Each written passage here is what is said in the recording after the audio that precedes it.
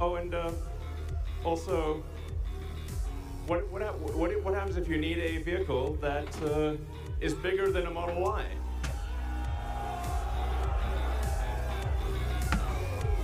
The, the Robovan. The Robovan is, uh, this is, a, we're, we're going to make this, and it's going to look like that. Now, can you imagine going down the streets and you see this coming towards you? That'd be sick.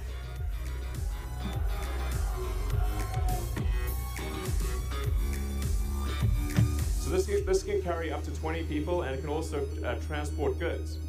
So you can configure it for goods transport within a city uh, or transport of up to 20 people at a time.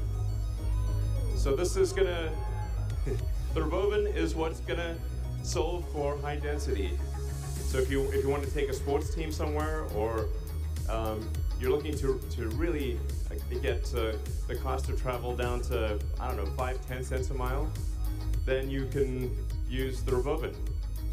Some people call it the Robovan.